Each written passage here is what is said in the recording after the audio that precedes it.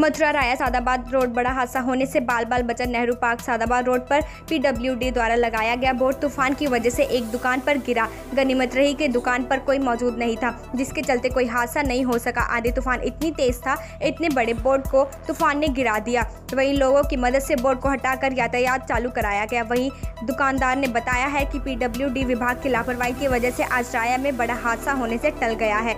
गनीमत रही कि किसी को कोई हानि नहीं हुई। निवासी क्या घटना हुई? जी मेरा नाम बीरबल सिंह है। ये बताएँ बीरबल सिंह क्या ये घटना हुई? सादाबाद पर दुकान है मेरी। दुकान के पास में ये खम्मा खड़ा हुआ है इसमें सादाबाद कई आदमी में घटना हुई। लिखा हुआ है बारिश बारिश की आंधी की वजह से है। तो आंधी का तेज तेज प्रयोगता क्या था? कैसे गिरा जी हाँ आंधी तेज थी इसके कई लोग होने चोट भी आई है बात बड़ी दुर्घटना है। लेटेस्ट न्यूज़ देखने के लिए प्राइम ब्रेकिंग न्यूज़ चैनल को सब्सक्राइब करना ना भूलें और साथ ही डेली अपडेट्स पाने के लिए बेल आइकन को प्रेस करें।